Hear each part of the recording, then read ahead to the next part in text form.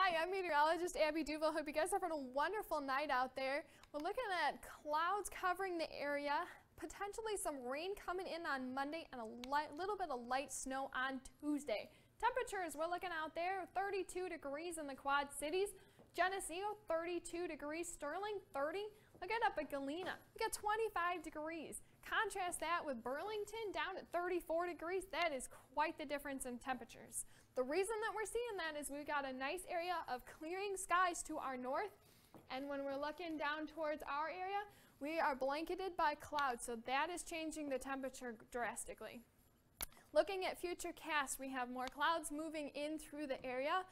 The, the area that we're going to see our rain move through is going to be Sunday into Monday, and we're looking at about half an inch coming in. So you're going to want to keep those umbrellas on hand and keep also your coat ready to go.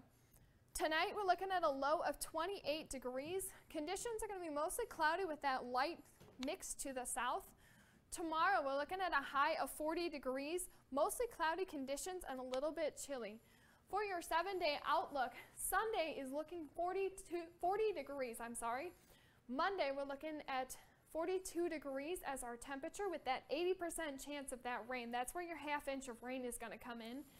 Tuesday, we're looking at a high of 38, 30% chance. We just throw that in there just because we could get a little bit of flurry, flurries on Tuesday.